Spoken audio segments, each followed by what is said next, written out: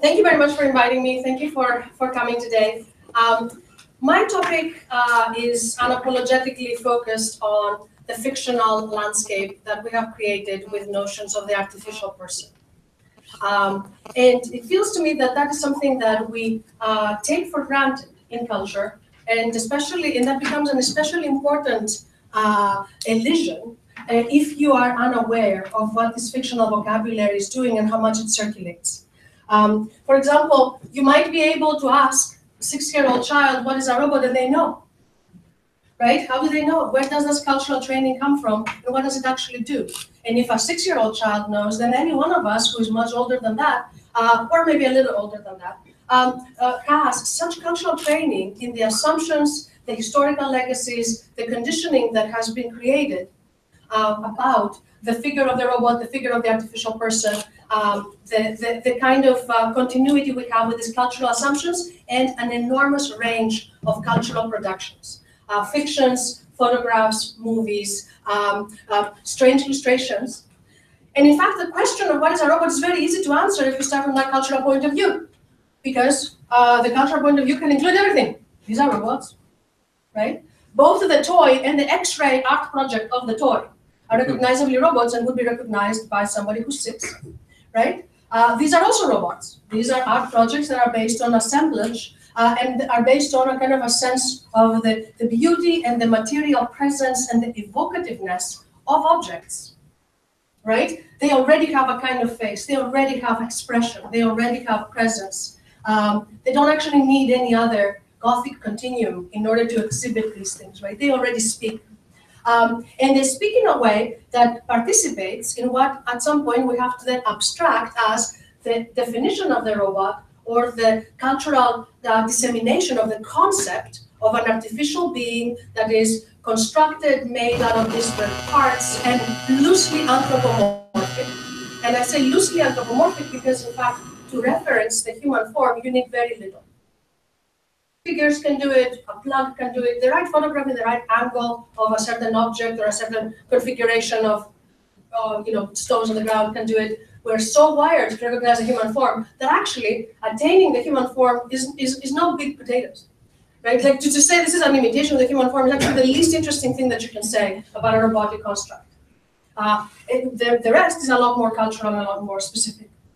For example, the, the previous robots exhibited a complete self-conscious uh, absorption of the notion of the robot. And then we get into more and more complicated materials when we try to figure out how other objects use that aura, that cultural, uh, dispersed cultural production. For example, the, the robots that are real robots and that are working, right, in an automotive factory, for example, are not the first thing that the six-year-old is going to paint when I say paint me a robot, right? They are not participating in the same easy way to the fiction, the cultural fiction, the cultural disseminated notion of the robot as, uh, as the tiny toy. Um, and then you have products from particular companies like Asimo, uh, who are using that, that uh, aura of the robot in a way uh, in order to promise innovation, in order to promise a company that, that speaks to the future, and in order to promise something that is actually quite fictional. Because in fact, Asimo is not a robot, it's uh, uh, um, uh, remotely um, moved, remotely uh, used, sorry, what is it, controlled, remotely controlled. And there are two teams of controllers, one for the upper body and one for the lower body. The lower body is where you have the real technology research because the lower body is about bipedal motion and it has incredible complexity. How something moves, how it can actually uh, balance its weight, how it can respond to differences in texture. The upper body is fetish. The upper body is not necessary at all except as PR. And in fact, Asimo's job is PR, right? And that's the and most most uh, the robotic projects that have this anthropomorphic fetishistic relationship to imitation, usually their only job is PR.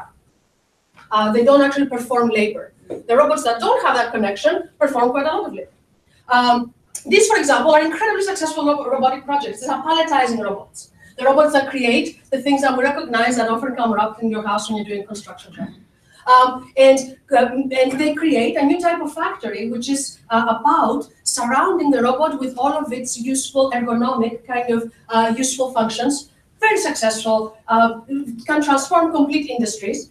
In fact, this type of robotics is transforming the biotechnology industry now because uh, you have like, you know, a thousand little pipettes of a particular mix that have to be moved from one place to another under temperature and cleanliness conditions that have to be shaken for a certain number of seconds, and then moved again. That's a great job for a robot.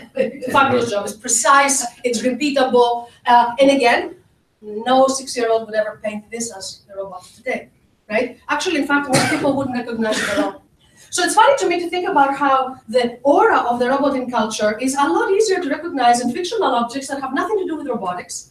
And then to also see the counter problem, which is that actual robotics problems are sometimes plagued by this aura, don't know how to negotiate it unless they negotiate it in these anthropomorphic, specific, imitated ways or as PR.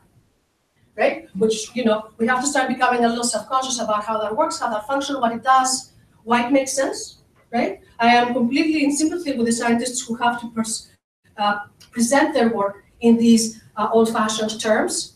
It would be nice to figure out what might be alternative terms for us to be able to do this. When you have the robot rovers on Mars, you don't get a sudden uh, narrative about how the robots have colonized Mars. We have the massive projection of human intensity that we are on Mars. None of the fictional components of uh, the robots versus humans, people uh, being supplanted by machines, none of these pertain when you have such a project. So what happens there? The mediation that the machine enables becomes completely transparent. We are on Mars, and this robotic point of view becomes our point of view. And, the, and then the robot becomes a completely useful extension of human ego, and it doesn't actually have the conflicts that other people might recognize or the gothic components of difference they become a, a, tool, they become a projection, and they are again very working robots that actually have extended beyond the limits of what people thought they would do uh, on Mars. One of my issues then is to think about how the, the figure of the artificial person, the figure of the mechanical body, the figure of the uh, robotic body is so culturally dispersed, and to think about this interplay between reality and fiction. Um, my, my work has focused a lot on trying to figure out how to break out of the either 80s, 90s technoculture vocabulary or the 19th, 20th century Gothic vocabulary, right? How does that vocabulary create the contemporary figure of the artificial person? Um, and also out of the uh, long uh, early modernity vocabulary about the scientific revolution. And so I'm going further and further back in time you can choose your discipline, right? Every discipline chooses the beginning point, and therefore the discipline is dominated by particular metaphors. Um, and so, and after the early science vocabulary about the technological revolution, we still see that the vocabulary in which we, we describe these figures has to do with a type of reality component. That the issue is that they become real, or there's something about them becoming technologically feasible or possible.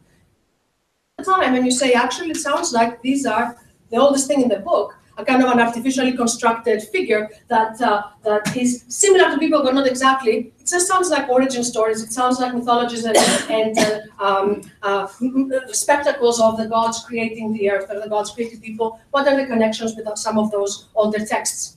So my book started out of thinking about inventing that longer span, and in the process recognizing much deeper roots for the discourse of the artificial body that we have now. And also, certain things that we still seem to be lingering on, but actually we should figure out how to revise. And one of them is my favorite problem, which is the, the imitation component, right? The idea that uh, the desire for this discourse is how to imitate uh, the, the human, right? And then everything is hinging on that. You either imitate too well or not well enough. You succeed and you fail based on that concept of imitation. It's totally domineering as a concept. Um, and there is no other field in contemporary humanities where imitation functions as a theoretical principle. You cannot go to an art department and say, oh, this Picasso is beautiful, it looks, it's, and think about that you're going to do Picasso in terms of imitation. Hmm. People will laugh you out of the room. Right, so it's a very strange, strange uh, stranglehold that imitation has in this field. I think that it is also a symptom. So as a cultural critic, I feel like I'm a little bit of an archaeologist, or sometimes I feel like I'm a little bit on another planet. Like I'm looking at this and saying, oh, I see, everybody's doing imitation, what's up with that, right? Um, and then the imitation component, I think, um, limits us to a very modern sensibility that I, that uh, somehow seems to be related to the advent of uh, uh, binary oppositions, self and other, uh, Cartesian dualism, all of those things wrapped up together, and we are still uh, in the stereotypes of those. even though a lot of our cultural productions already have an alternative vocabulary, which is actually pre-modern, and in which imitation is not the operative principle, but motion is. Some of the situated robotics that you guys were talking about yesterday and today, are, you can really see the difference, in my view, between projects that are motivated by a fetishistic interest in imitation, thinking about other principles, like motion or like modeling. Like to say I'm going to model the function of something is not the same as say I'm going to imitate the function of something. Imitation is so much more limited than modeling, analogy, uh, um, the, the, kind of geometric expansion that those, that those words allow. Science fiction again, there is a type of uh, determinism that happens in relation to the embodiment of the artificial person. The artificial person uh, is expressing a kind of performative version of humanity. When you can imagine, and again, I'm in fiction, when you can imagine any body you want, the kinds of bodies you do imagine have a lot of excess meaning about what you think about bodies, what you project onto bodies, how you allow body embodiment and bodiness to transform in the fiction. And you have very simple definitions, and again, these are always revisable uh, because cultural productions evolve, but somehow they seem to hinge on something specific. Robots, which are usually oversized, uh, sometimes me me metallic, or they might be made of synthetic materials, but they project a type of otherness right? You can tell what they are just by looking at them. They're robots. Uh, androids, which have a kind of a hybrid sensibility, sometimes they might have green skin, or they might have problem with logical propositions, or problem with humor or other cultural elements. Cyborgs, which seems to pass completely for human, and passing is part of the issue, uh, but they, see, they still reveal a type of alienation from the human, sometimes in the case of Terminator, because they are too cruel, or are relentless, or they can't stop, or they have too much purpose. But both androids and cyborgs also, because they can pass for human even marginally, they also become really interesting figures as agents because they can be manipulated or they can actually be too obedient to their mission if their mission is to, you know, find John Connor and kill him. and then objects that uh, artificial uh, entities that do not have a body have the same problem with embodiment, which is that by not being embodied specifically somewhere, they might in fact be everywhere. And this is a strange resurgence in contemporary AI thinking, including transcendence, of a type of 80s fearfulness about networks, which is that either the embodied entity in the computer system is uh, uh, treating the computer system as just a transparent medium, and then there is some hacker somewhere or cyber criminal somewhere that's just using the medium in order to get to your computer, or it is an emergent uh, intelligence inside the system. And that's even scarier because you cannot control anything and somehow they control everything. And then it becomes a criminalization of all of the things that we have made controllable, right? All of the smart objects, it's not that the, my phone is going to kill me, it's that my phone is hackable by somebody who wants to kill me. But that changes the problem of intention and it changes the question of of agency that there is the fact that there might be a human on the other side of the line changes what we think about in terms of the artificiality and its uh, and its counterparts. There's a lot of contemporary movies. I'm not going to talk about all of them. There is a constant recycling in contemporary culture, partly because of the way that the film industry and television industry work right now. Partly, I think a lot of these are motivated by the fact that very, very good special effects are becoming easier and cheaper. And so you can actually have even a modest project on TV, have fantastic special effects, and then they themselves create plot lines that, that uh, fall in love with this notion of artificiality. And so you have more and more of that. Um, in which I think the question is, uh, is, is important to think about now is to think about fictions of the artificial person and how they change, but also to think about whether they change and what parts change. Uh, and then the connection between reality and fiction is also extremely complicated. In something like gravity, for example, NASA engineers were consulted about the project of gravity. The same is true about Interstellar and The Martian. And The Martian was famously uh, criticized at some point for being like a, a NASA project that just somehow became a movie. Um, because if you go to the NASA website, you'll see that they actually have a whole set about, okay, the project about going to Mars, according to the Martian, is that possible? What parts are possible? And in fact, so much of it is possible because it was the NASA blueprints that ended up giving the action to the movie. Um, so some cases you have science informing science fiction. In Gravity, for example, one of my pet peeves of science fiction, which is that they have explosions in space that have a lot of sound. Uh, that, that doesn't happen in Gravity, it's silent. Okay, finally. Um, or you have things in which, uh, and a lot of technology people love this idea, something in science fiction becomes true, right? So the communicators from Star Trek become our phones or our uh, Bluetooth, and then it, come, it makes a retro cycle where then you can actually buy uh, a stylized uh, um, you know, Star Trek uh, Bluetooth thing that actually is a contemporary technology, but in the retro remediation kind of vocabulary of old technologies. Um, and then the, the, the, common claims that we see also have to be somehow made a little more self-conscious. The common claim that robots are real now or soon will be real. The robot is always a connection to futurity, there's some future horizon. Um, that the robots of science fiction are becoming real now, right? A link between science fiction and, and reality. And that fiction, fictions of robots inspire actual robotics, and we're having a conversation about this uh, last night. So my question is to look at backwards. Do the actual applications of robotics, do they change the fiction? Right? And the fiction has a lot more longevity than most of these projects. The fiction, in fact, is a revelation of just how paradoxical contemporary, how paradoxical culture is in general. Popular culture is a very bizarre product. On the one hand, it is incredibly responsive. Uh, we are the collective producers and consumers of popular culture. And if we are worried about something like genetically modified foods, for example, it emerges in popular culture immediately, very, very quickly. So as a, as a collective product, popular culture is very responsive. On the other hand, however, nothing ever goes away. So you actually have uh, patterns, styles, formulas, genres from 100, 200, 500, 1,000 years ago. And they're just as recognizable and just as uh, available and just as functional in popular culture as they were a long time back. In fact, sometimes more so because we have better social effects and better media. Um, so the question then of thinking about this in long swaths of time really makes sense for me. And here I'm going to give you a little bit of my conclusions just so that you have a sense of what you're listening for as I'm going to do a lot more historical material later. Some of the things that I'm observing in all of these movies that are just coming out and they are hypotheses. I am at the mercy of whatever the next TV series will do. Again, I'm always post facto. I'm an archaeologist. I'm thinking about what they have done, how to make meaning out of it. Something about the us versus them narrative has been changing.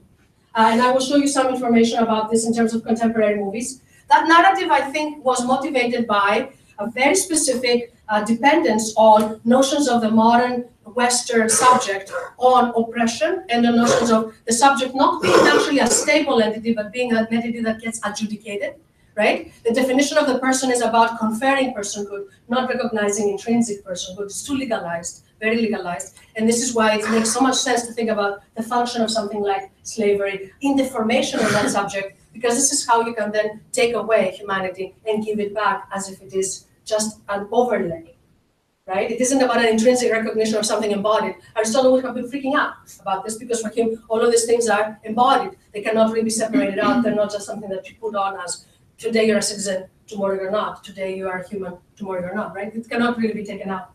Um, so what we see is a very intense exacerbation of the 20th century, mid 20th century pattern of existential interrogation. Am I human? What makes me human? How do I feel? I don't feel human enough. I feel like a robot. I'm being roboticized, but all in terms of existential rather than social and labor-related questions. So instead of being artificial slaves, for example, we have people who have been caught. Westworld is a good example. They have been caught in a web in which they are being submitted to forms of traumatization, or they are in a quest for finding a deeper, more important understanding of themselves as who they are. And the concept of artificiality somehow functions very intensely in these types of existential narratives. Um, some robot fiction seem to be informed by actual science, others are totally immune. Uh, and the actual science becomes a matter of mise-en-scène. I'll show you an example, an example of that.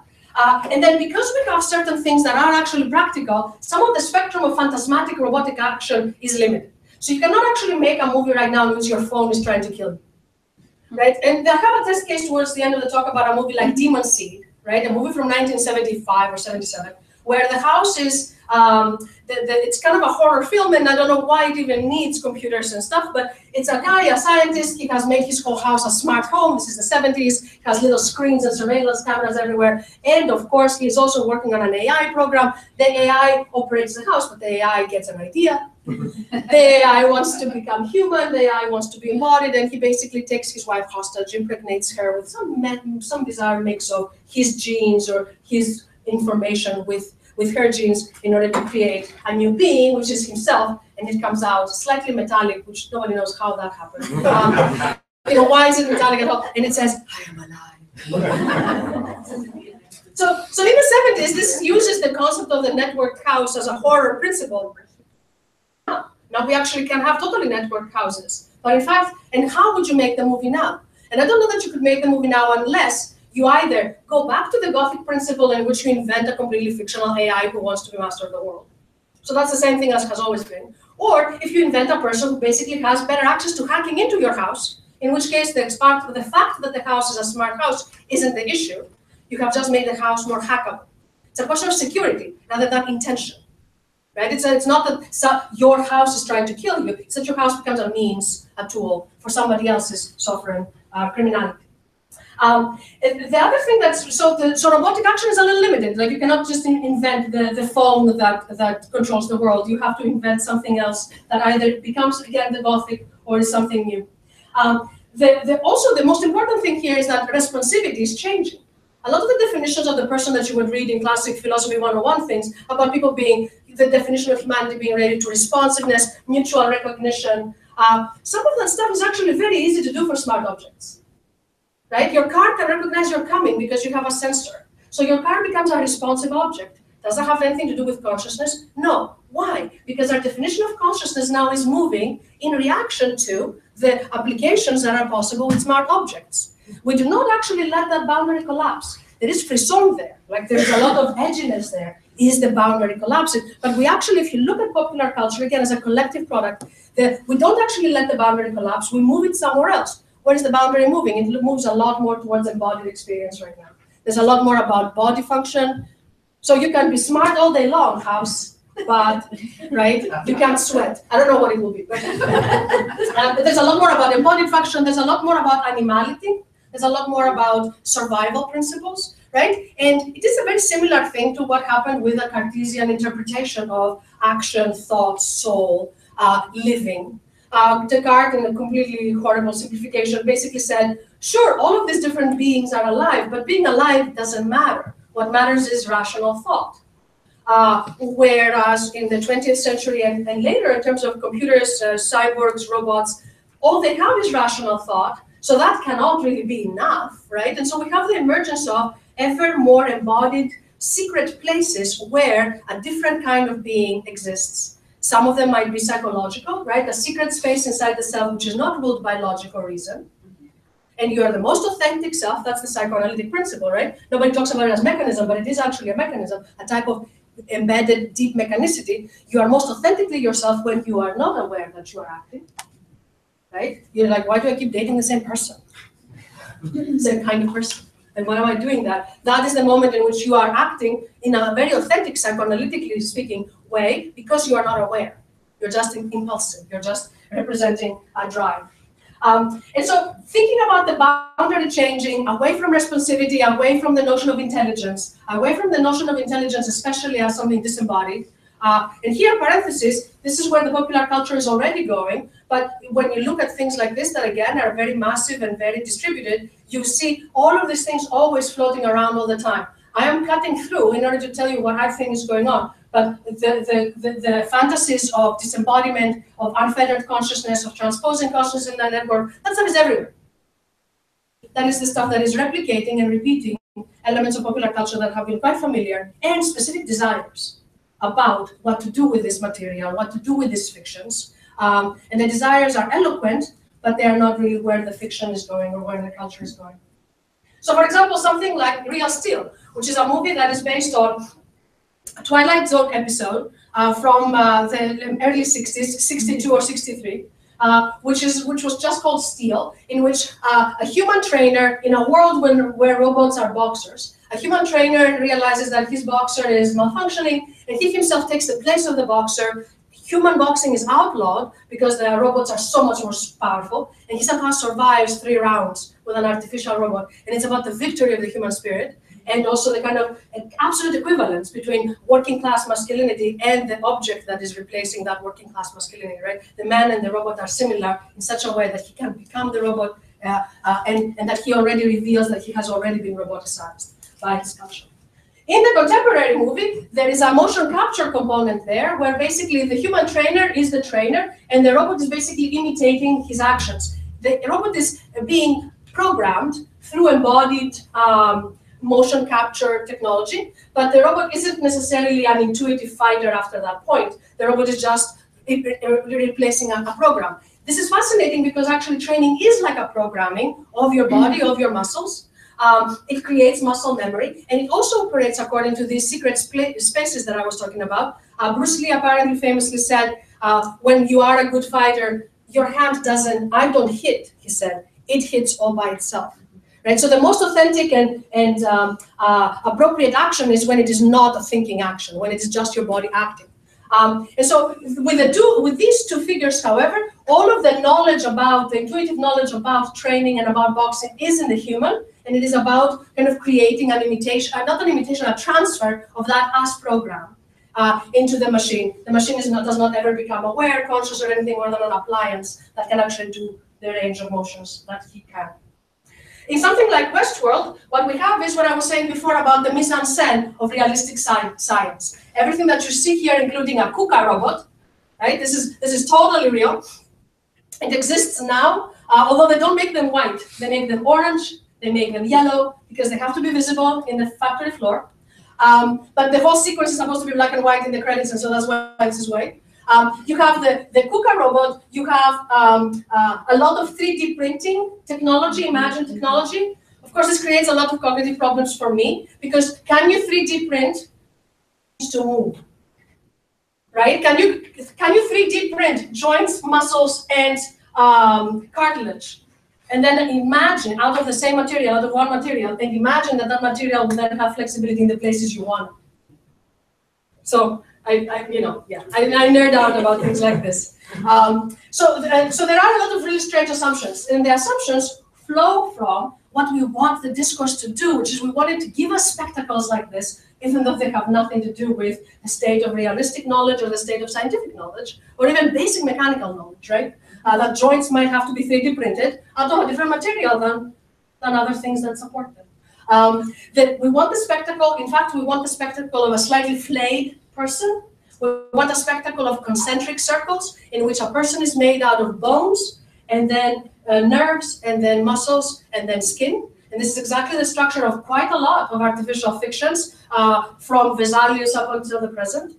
Um, and we want the body to be in, in some way understandable as constructed and not as uh, grown or born or intricately related uh, uh, uh in terms of parts. And then the narrative components that are completely old-fashioned, but also have interesting uh, revisions uh, of the narrative of existential quest or the narrative of consciousness. In Westworld, for example, what these hosts are experiencing is much more realistically portrayed as personality as software, personality as something that is programmable and as something that gets downloaded, that has builds, that has bugs, that has to go back to the net next last available build. Right, all of this vocabulary is very present uh, in the story, even though what the story also contains is a vocabulary in which the self is made out of trauma and out of abuse, right? Because all of this, the, the bug that gets added into the system is memory. That the, the, the fantasy of Westworld is that you can do whatever you want to these human-like beings, but then they get wiped clean at night but when they actually start remembering, they keep having these constant flashes of all the abuse they have experienced. That is supposed to also be giving them the complexity of a contemporary consciousness, a contemporary subjectivity.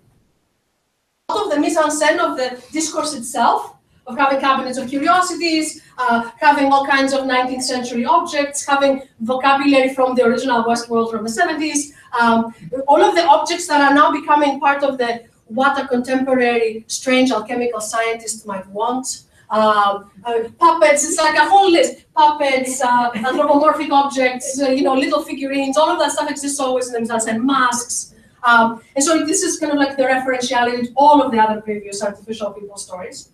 Um, and then we have uh, a lot of the vocabularies of good, it's moving. Um, a lot of the vocabularies of the, the incongruous interactivity of these things. Of somebody who is only half made could be moving, uh, of the contrast between the organic here in the horse and the artificial with the robots, and the idea that people would be interrogating each other, and that you have a layering of like a video game structure really, in which you have Westworld, and then you have the world of the controllers, and then you have an imaginary other world that is controlling that world. It's as if the, the problem of Westworld is not enough to actually create a paranoid enough structure. and you have to make more and more layers of paranoia in order for it to work. and even the narrative of I think I think I'm I'm remembering something, which means that my world is constructed, which is staged at the level of the hosts, has to also be replicated at the level of the humans, who also don't know what their position is in the social system, and who also worry about that. And then if one of them is an existential quest at the level of identity, the second is also an existential quest at the level of uh, systems of, of governance and systems of power, right? And, but every level at some point has the same viral question who am I, why am I here, what is the problem here. Um, and then, of course, these kinds of scenes in which you have a person that gets dehumanized, uh, uh, or you have an object that gets personified, and those things are dynamically connected. Um, to see the, the, the, the, radical violence on the body, and to also think at that same time that, of course, she doesn't feel it, of course, she doesn't. It's fine, this is totally normal for that representation. Um, similarly to questions of um, the, the, spectacularity about uh, nudity and about dehumanization in relation to nudity and almost as zombie-ish, as zombies or other. So one of the things that I wanted to do with my book is to try to take into consideration these aspects of the discourse, which is, first of all, to think about artificial people as a discourse, right? To think about something that has formation. Um, and to think about its structural logic, to think about how it functions in culture, I think that one of the things that I did that, that to me changes the vocabulary is not to connect it to contemporary technoculture or technology in general, but to think about it as transhistorical and much more related to uh, cultural uh, aspects, cultural desires, and philosophical concepts rather than a particular contemporary moment. And I decided to do it in a very structuralist way. Actually, decided as a euphemism. I ended up doing it in a very structuralist way. That's what somehow we needed. Um, and, and focused on four specific ingredients that come up again and again in these stories. So basically, I followed the stereotypes. It be bugging me and it happened again and again and again. You could not get out of them. Every time a new movie comes out, like Ex Machina, I go to the film and I'm like, this is like, is this gonna be good money? Oh, it looks like money. Oh no, oh well, they did something new. I'm just, I'm so happy if they have done something that is a reaction to this very, very strong hold of this stereotypical vocabulary. Um, the, the four ingredients play very interestingly with time the, some of the oldest ingredients that come out of uh, origin stories and mythology are about how artificial people are made, how they are born, especially that they are born adult. This is the most specific characteristic that is almost impossible to counteract. Even in stories that have artificial children, which are very, very few, the, the whole uh, conceptualization of the artificial body is about a body that is unchanging, that cannot grow. Um, and so there's a lot about body function in these, uh, in these stories. To also think about mechanicity, that the body is mechanical, not as related to a contemporary vocabulary mechanicity, but related to an ancient vocabulary of the body, in which mechanical metaphors, if you look at Aristotle, if you look at medieval philosophers, mechanical metaphors are incredibly useful at describing the body. About how these ancient ingredients get retranslated in modernity into the this in a way? Uh, into the vocabulary of um, um, uh, both a kind of mechanical body that has become uh, uh, instrumentalized, right? So it's not about the mechanicity of my own body, my autonomic functions, the fact that I, I'm not thinking about breathing, I'm not thinking about uh, fighting a, a, virus or whatever, I'm not thinking about uh, my, my hormones. That autonomic body is already a mechanical component of the body. But that becomes translated in modernity into something about external control and something about oppression. And so the, that is an interesting translation. And then the artificial birth becomes also the baseline for narratives of existential cybernetic experience because it's always about recognizing your position in the world and it's always about finding yourself reborn adult to see what the world is. So I'll talk a little bit about what these different ingredients do. Um, the reason I called it anatomy of a robot is because we always like looking inside these things. Somehow the spectacle of the body that looks human and then opens up into completely different ingredients never goes away, never gets stale. People love it. I love it. Uh, in this particular case, somehow the cowboy hat has to stay on. The face can go, uh, but the cowboy hat has to stay on. And this anatomical gesture continues in the design of people who have particular transparent body parts so that we can see inside. It's a surprising um, gesture because in a way it is designing a body whose interior is supposed to be the alternative, the opposite to the human interior, which is messy and gooey and has too many body fluids. Understandable and clean and sparkling and full of understandable things. And yet somehow we still want to see that uh, as if it is also a source of mystery, a new place of mystery and mystification. Um, so in thinking about morphologies, I was trying to look for the stereotypes, for the story patterns. I was also trying to be more specific and more precise about the terms that we use to describe these different things. I was thinking about uh, culture in all of its messiness as a deep and important archive, uh, and also thinking about recognizing the difference between stories and objects. And if I have any advice for those of you starting out right now uh, on thinking about this, just remember this difference stories are actually part of the Gothic continuum uh, of um, 19th, 18th, but also 19th, 20th century, 21st century science fiction, in which you do not have to have an artificial person at all in your life or a robotic being in your life, but you can read all about the kind of uh, energies uh, between an inanimate and an animate object. And representational media are fantastic at this. You go to a puppet show and the puppet seems to feel and makes you cry. How did that happen? How did that work? Of course, you know it's artificial, but that projection is part of what representational media are able to do, to actually create the sense of aliveness, of things coming to life, the whole metaphor of animation that is fundamental in representation.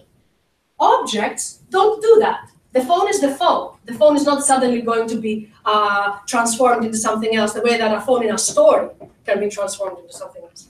But my phone actually also have, has allows me to have experiences of interactivity and presence that actually embodied and physical. So for example, in the example yesterday about the, the robotic projects that create the uh, four-legged dog-looking thing, that is an embodied project that has incredible mobility and the mobility is evocative and it has kind of projections about what kind of animal it is. And in fact, the fact that it moves in the world is so alive, right? It doesn't have the same pattern as, an, as, a, as a gothic story in which somebody's gloves start becoming ghost-like, right? It, but it has its own presence, and that presence is really recognizable. And again, we're wired to recognize these things. We know we know where we see them. So whenever you're in, in the mix and you're thinking about a project that has bizarre combinations, think about what kind of power the stories have, what, what kind of power the objects have, and and the, and the question of presence, of what it means to actually embody something and, and see it in the world. So I'm going to go through some of these very quickly. The first ingredient was about being born adult. Uh, and this is extremely characteristic of artificial people. We always like these animation stories. They are about being um, uh, the, the, exact opposite of the natural childbirth, right? Instead of a baby, you have an adult body. Time, you have an instant event. Instead of something that grows, you have something that already is visible, spectacular. Everything that's inside the body comes outside. And then you have fantasies of control, in which you say, I push the button and the thing comes to life, instead of the absolute lack of control that people throughout history have felt about gestation, conception, childbirth. The other thing that's important to remember about Frankenstein, and next year is going to be the bicentennial, so be prepared to have Frankenstein mania hmm. for the novel, is that Frankenstein is not just about the making of people. Frankenstein is also about the unmaking of people the fantasy, the, the, the, story works really well as a, a, modern story of origin because it actually has both the principle of we will make nature visible, we will hunt nature to its hiding places, and we will actually understand the miracle of bestowing life. And in a way, the story does it. Frankenstein manages to animate the monster, so something becomes at least done once. It's not necessarily knowable because it's very mysterious in the book, and it's not necessarily replicatable. Um, but you know, you do get the idea of like, aha, an ancient mystery has been demystified because you don't need gods anymore to actually animate people. You can do it in the lab. But a second mystery is emerging, which is a mystery of actual social and parental rejection. Right? So to make people physically is not the same as to unmake them socially and culturally, which is what happens with the rejection of the monster, and what actually motivates the rest of the action of the book the, the part that creates such a lot of pathos and such a lot of commitment to that novel is not because we know what it means to be born. We actually don't, but we know what it means to be rejected. All the time, we are aware of it. We, we, this is, it's familiar, and this is why, for example, the monster becomes such a figure of sympathy and such a figure of existential vocabulary of like, why, why am I not part of the human uh, fold? Um, so think about the doubleness of this, right? The making people and the unmaking people, and the way that those two combine in the book as something that creates this kind of negotiation. That because artificial people are born adult, they immediately land into prescribed, purposeful lives. By, contra by contrast, uh, the, the human is imagined as purposeless, right? You don't know what you're made for. That's exactly what you need to do as a thinker. This is what we have humanities for right? Like, what are we for? What are we here to do? Uh, this will be important when you see the new Ghost in the Shell, for those of you who follow these things, because it actually is a very existential quest in the original anime, where you have a, a voiceless flaneur uh, experiences where she goes to the city and she seems to be looking at things. She seeks experience as experience, as if she's thinking about this artificial cyborg, as if she's thinking about what existence means or what it means to be alive. For cyborgs, for artificial people, that question never is out of fashion.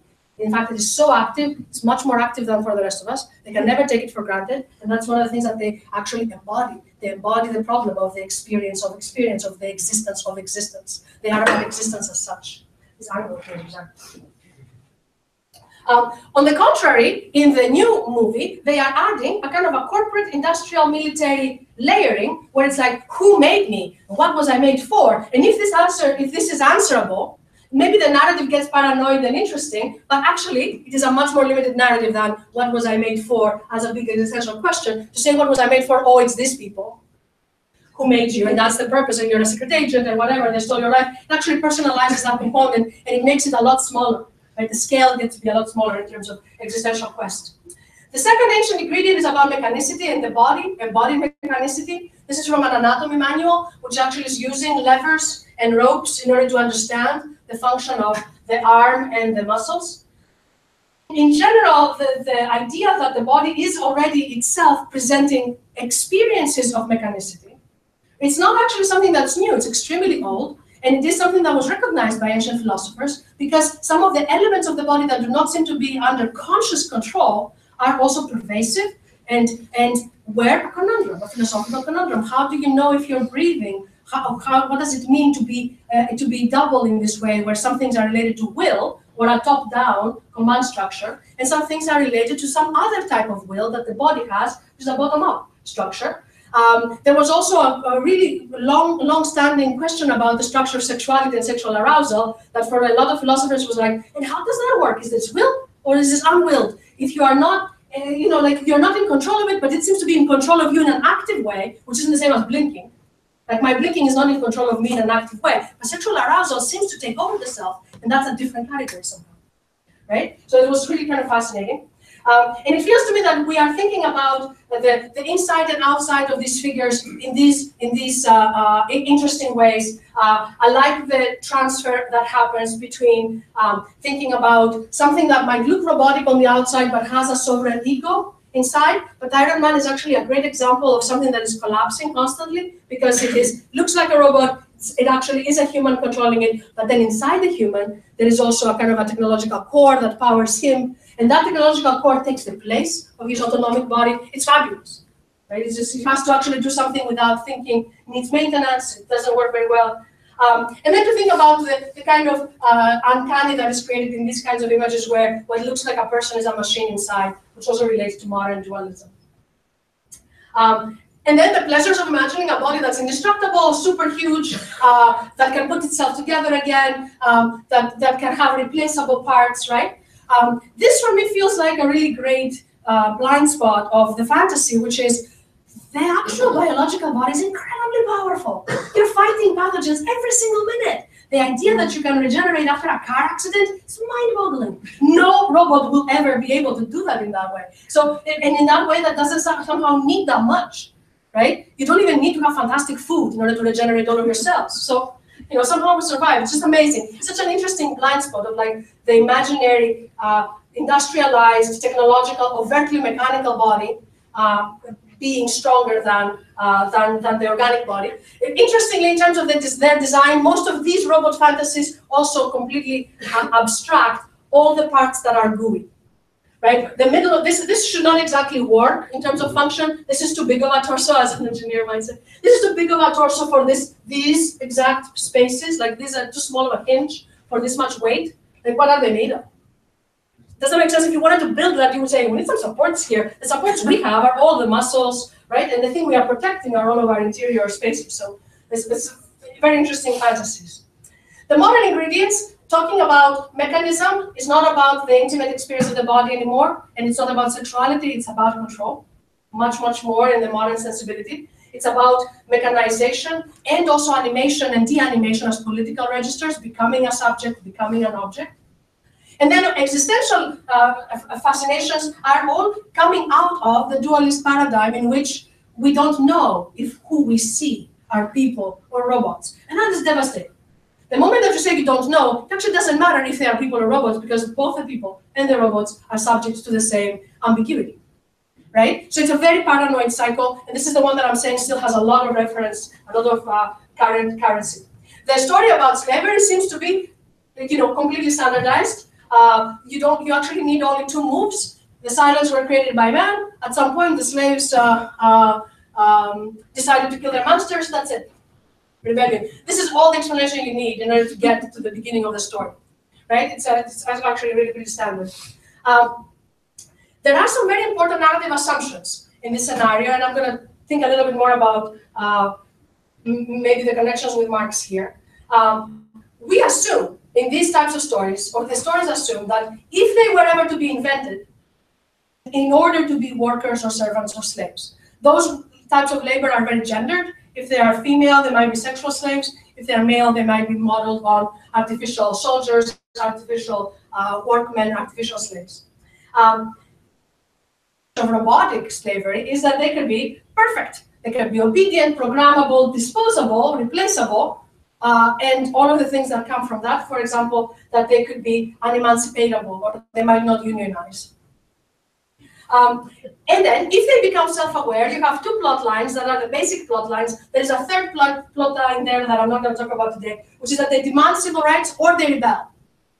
The third plot line is actually that they are so abject that neither, neither one of these gestures is ever available. Right? And there is a state of abjection in robotic narratives that is often really on the sides of the rest of the story. Both of these, in fact, are very sovereign gestures is actually a, a gesture of, uh, of, of uh, conscious and, and active ego, writing oneself into history, right? To demand rights is also writing oneself into the state. So they both of them are really sovereign gestures. The other state, the state of absolute abjection, is really usually invisible in the stories, and you have to kind of retro-engineer it. What are the ideological effects of this? If they are built as workers or slaves, in a way, the robots are part of that fantasy of the laborless world, right, that, that we are all critiquing today.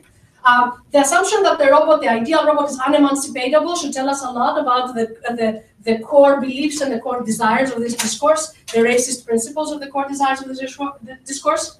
The idea that programming would be something that ensures submission, right? And the idea that, uh, therefore, robotic servitude can only be in the absence of consciousness. A very false consciousness kind of Marxist narrative that a lot of these um, figures represent um, that if they knew they were slaves, they would rebel. Like if they knew they were slaves, it actually counteracts everything we know about human slavery, in which people can be oppressed, abused, and tormented for many, many years, and they know that they are human, and they also know that they are slaves, and they know who's doing it. But the, the gestures of rebellion may or may not be visible or possible, right? Um, or the, the, the gestures of survival as rebellion are usually not part of how we understand this narrative. And in general, the thing that links robots to the, the narrative of enslavement is that robots, by their very form, represent a kind of political status that maps perfectly onto somebody's ontological status. Right? How you are made is what your position is in the political spectrum. Right? And when people try to think about this, I think one of the confusing issues is about what the robotic fantasy itself is. The robotic fantasy is not just a fantasy about technology in general. Um, technology in general, you can see here, the technology fantasies always get very old-fashioned. Um, so this is all about both control of important machines and about like, you know, the, robot, the mechanical makeup uh, artist. I don't know what's going on up there. Um, but these are not personalized uh, appliances. Uh, the robotic fantasy is, in a way, something that both embodies the laborer and depersonates the laborer. The favorite example for those things is the automatic uh, uh, thermostat, right? It's a completely automated solution. Somehow it manages the temperature of whole buildings. But that is not a robotic fantasy. That's an automation fantasy, right? It's actually very simplistic even for automation. But um, the robotic fantasy would have to uh, imagine it embodied and imagine it as doing the same job that a human would do, pretty much in the same way that a human would do it, but also not be human. So to embody and depersonate, it's just a very strange thing narratives of the masses and the individuals really play a lot uh, in this representation of labor, the infinity of labor, uh, the infinity of, um, of replication. that I added last night just because of the discussion we had yesterday. Um, the, because because the vocabulary is also always about that dream of a laborless world, you, also have this incredibly racist background in so much of this stuff, or the way that it activates racial perspectives. In the beginning, this article says, uh, in 1863, Abe Lincoln freed the slaves, but by 1965, slavery will be back. We will all have personal slaves again, only this time we won't fight a civil war over them. Slavery will be here to stay. We'll be mechanical slaves. Okay, so you want to do something about a robotic butler. Why do you need such an overt reference to slavery? And even if it is metaphorical slavery, why do you need Abraham Lincoln in there? So you don't mean it metaphorically. It's actually, you do mean something specific about slavery.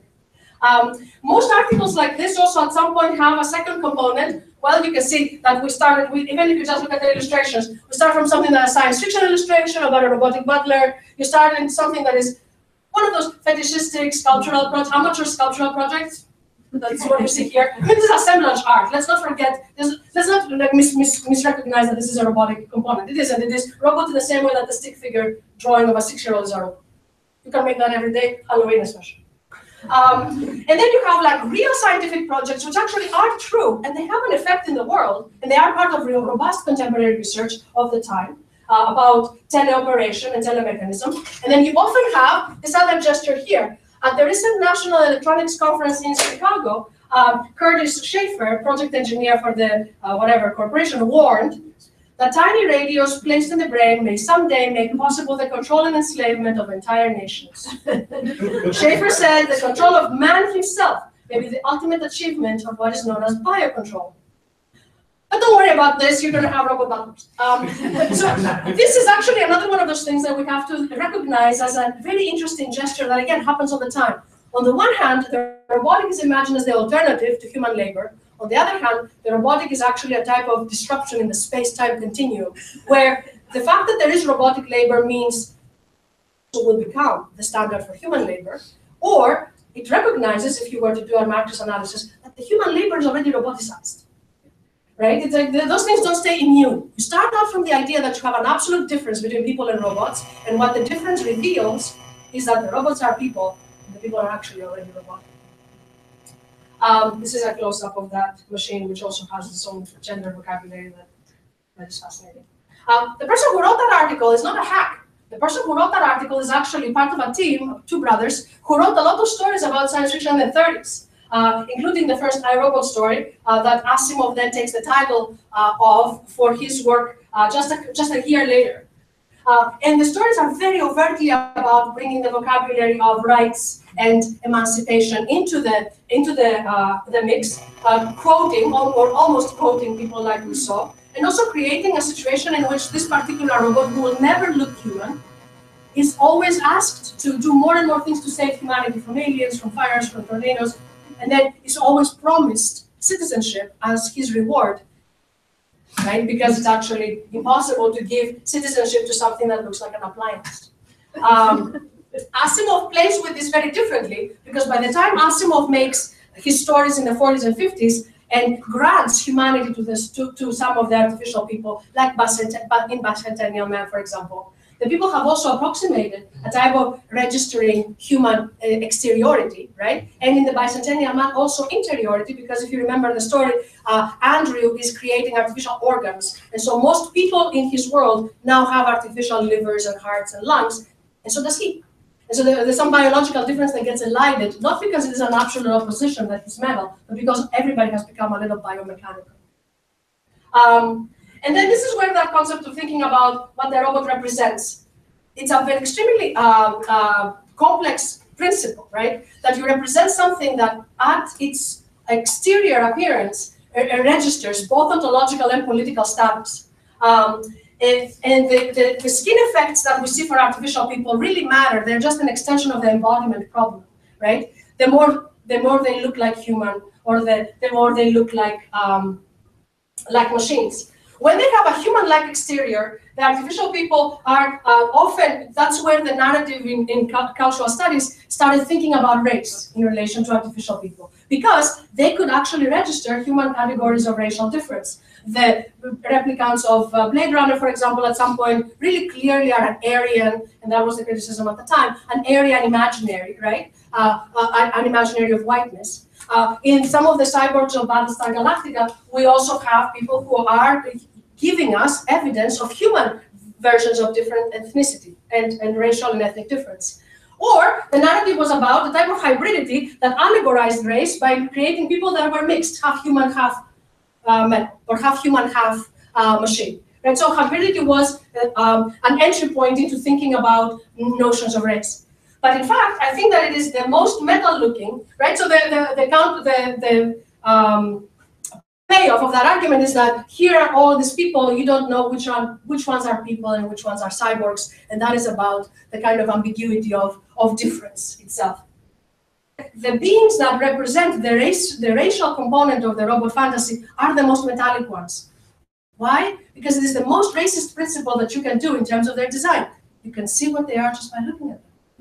This has nothing to do with how racial violence is actually enacted. It has nothing to do with how people look, right? But it is absorbing all of that vocabulary of exteriorizing political and uh, um, political status, um, and it exteriorizes it as if it is ontological status, right? So that's why it feels like it's a completely racialized premise.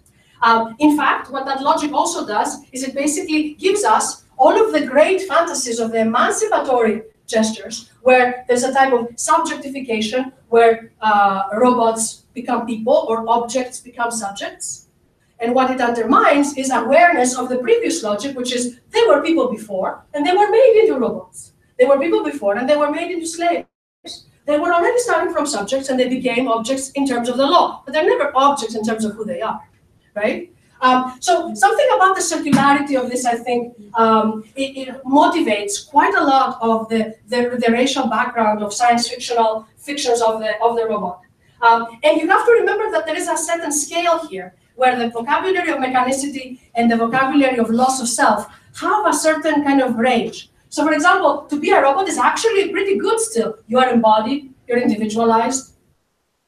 Tool is a little bit less embodied and individualized. It becomes much more about usefulness rather than about presence. To be a cog in a machine is a much bigger loss. It's like you're not even the whole machine, you're, you're just a tiny little part of it.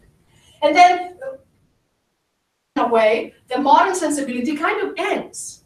And then we get to almost pre-modern fantasies and pre-modern precursors of the fantasy of mechanicity as loss of self. And that, that mechanicity as loss of self goes into being a power source, being absorbed, being so abject that you don't even have an individualized body at all in the fantasy. The place where we see things like that um, is where, where we see the contrast between the modern subject-object logic versus the older pre-modern ingestion or dissolution object uh, logic. This is something that kind of uh, was really surprising to me when I started working on this because it is as if the continuum flips, like you cannot actually have that logic anymore. It is a logic about being eaten, right? What is the previous model of the resolution of the self completely? And it is not a mechanical logic in antiquity, it is a logic about being eaten. Uh, and in contemporary narratives, we have it in terms of uh, humans being used as material, or humans being used in a completely um, kind of instru instrumentalist uh, um, uh, way as spaces. So in Battlestar Galactica, there are women who are getting impregnated uh, to, to, for forced reproduction. In uh, the Matrix, we have people use as batteries. Right? These are the, the only contemporary, or the kinds of contemporary places where you see that treatment of the human. We have a similar thing in Mad Max where the women are used to uh, produce milk. That's like the human body treated as material rather than as, as uh, subject. Um, and then these, I think, some of the cultural contexts are uh, slightly changing. Uh, all of these vocabularies of compact, competition, the idea, the focus on visible otherness, the focus on um, a kind of ontological distinction between human and non-human, these things are a little bit old-fashioned now. We don't really do them in such a racialized way anymore, even though I think the vocabulary of racial difference is really very active in the stories. Um, what we what we see is um, a kind of a conditioning or a revisiting of the conventions of these fantasies. For example, in something like I, Robot, first of all, you have a very self-conscious, very funny, and very fluid recognition of the structural positions of those two figures. Um, the human as a position of sovereignty and the robot as a position of abjection or objectification, and the flip of those to create uh, a kind of a, a very, very white being in the position of structural blackness, an actor in the position of structural whiteness, right? So the structural and the visible co contrast each other. Of course, Will Smith also is the kind of actor who can deal with this really, really well and who's extremely comfortable with, um, and in fact, uh, professional in figuring out how, how race will be played out in, in his dialogue, has his own people who actually do the dialogue of the movies or revise the dialogue of the movies. He has fabulous lines in his film, like, for example, he has to take care of the cat of somebody who has died, and he says to the cat, I, you know, I can't keep you. This is not going to happen. I mean, you're a cat. I'm black. I don't want to be hurt again. and that incongruousness is already kind of a very overt, uh, very, very um, flip and easy uh, negotiation with the fact that he's an African American actor in the film and he plays an African American policeman in the film. But it becomes so easy to state it without making it be racial. Um, in uh, I, Robot, you do not have an us versus them narrative cleanly in ontological grounds. Some of the robots have been taken over by an evil AI, and they they glow a little red. I don't know if you can see that. The good ones glow a little so you, you know, and then you have the same requirement for visibility that we have in other stories. You can tell whose side they're on just by looking at them, right? Um, the fact that the discourse produces these narratives of easy visibility is really very interesting to me. And in the end, what you have is some humans, the humans plus some of the robots fight together to liberate the rest of the robots from the evil AI. But it isn't a breakdown of the humans go here, the robots go here, right? It isn't actually, it's a very mixed vocabulary. The same thing happens in Battlestar Galactica. The human, some humans and some Cylons work together to fight other humans plus other Cylons uh, against, you know, who, who want to be isolationists. So you do, you do not have a breakdown on ontological grounds. You have a type of emergence of politics, right? Which is which party are you on? What do you think we should do about this particular thing? It's a little more discursive and a little more interesting, I think. All Of the erosion of these differences in a movie like Elysium. Elysium actually doesn't even uh, doesn't uh, conform to the to the to the vocabulary of us versus them because it actually uh, brings forward and literalizes just how much the us versus them is not at all about the robots. What you have in Elysium is you have a completely destroyed world, a completely horribly abused, environmentally destroyed uh, Earth, and then you have the uh, space colony, which is an absolute Eden. It's just unbelievably beautiful with all of these sublime images of seeing it from space and seeing space. And then this is what the Earth looks like. The Earth is, uh, uh, you know, uh, surprisingly a very familiar, unfortunately, a very familiar picture from the news. Um, and all of the Earth citizens that have not really been allowed access to the Elysium uh, space are the, the, the lower classes, they are the masses, they are sometimes the workers, they are left to die, along with a planet that's left to die. They are also somehow the industrial force of this place, and they do a lot of very dangerous things and very dangerous occupations. In contrast, the world in Elysium is bright, and you have here, I don't know if you can see it very well, you have the people who have made this possible, which is robots. But the robots are, always kind of standing by. They are uh, uh, uh, very specialized. They can be policemen, they can be doctors, they can be medics, they can be just house assistants. But the robots here are actually not the problem, right? What the movie actually stages is the robots are standing by. In fact, these robots have such amazing ability that they can cure cancer just by putting somebody in a space, special MRI machine. Somebody has to give them the command. That's all. It's not about whether you can, whether you have the will to do it, right? So the story is not about people versus robots. It's about people versus people. The robots are bystanders. The robots actually have the ability to do it. And what happens is somebody breaks into the central database, changes the code, and registers all of the people on Earth as citizens. That's all. You need one line of code, and you need to say all of these people on Earth are legal citizens instead of illegal aliens, right? And the moment that gets rebooted into the system, the robots are like, what? There are 10 billion people who need medical assistance. And the system works immediately. They dispatch the medical, uh, you know, uh, spaceships. They start fixing people. They, nobody even needed to make that a command, a verbal command. They just need to change one line in the code. In a world of infinite technology, there is no labor problem here, right? It's infinite technology, infinite robots, infinite ability. Somebody just have to decide to do it. Um, so very interesting, a very interesting question about where we are. I, I have just a couple more slides. Um, the, we see a similar thing in WALL-E, right? Instead of thinking that the robots can actually do the work we should do, what you see in WALL-E is you see poor little WALL-E who's doing what he's designed to do, which is bucket, bucket up the garbage and put it in a place. WALL-E will never transform out of that paradigm. right? He's making perfectly good tidy bundles of, of garbage and putting them in a place. He's fabulous. He also has a human hobby, okay? He loves human objects. He loves the little cockroach that survives on Earth. In order to replenish the Earth, in order to fix the Earth, you actually need both the functionality of robots and another type of action, which is human action. And you actually cannot let the robots fix it. The robots will not actually fix it. You actually need to make the humans reinvest. And in fact, the spectacle of robot uprising in WALL-E is not the robot uprising against the humans. It's a robot uprising in order to restore a kind of a amazing human power, liberating people from their own acquiescence and from their own apathy. Right? So it is on behalf of people that the robots actually rebel.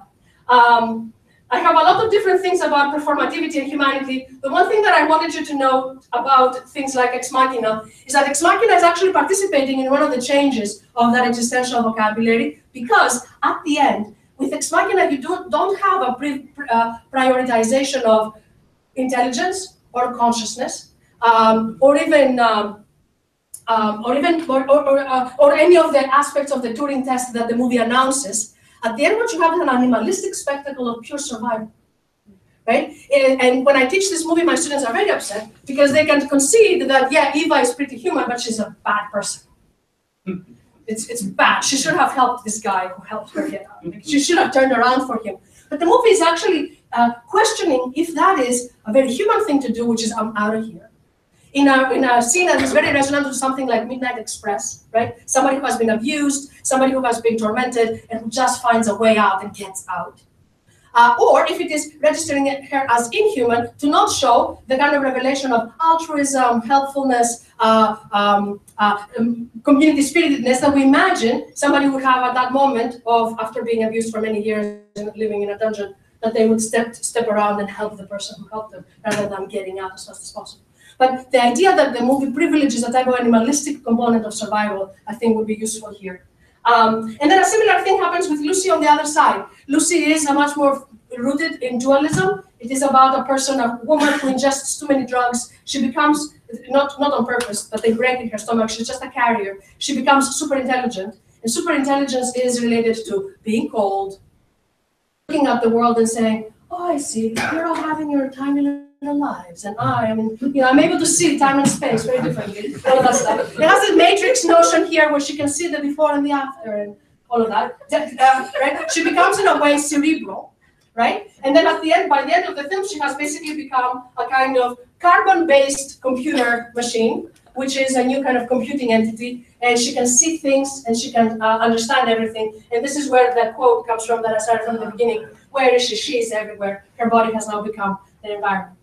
So I have to stop here, but I think that there are some interesting questions to ask about whether some of the persistence of these plot lines actually uh, uh, help us understand the, the, both the interactivity between reality and fiction, but also the longevity of fiction and its really incredible functionality in these vocabularies, both in the actual cultural productions and cultural narratives, and even in our everyday life. Thank you.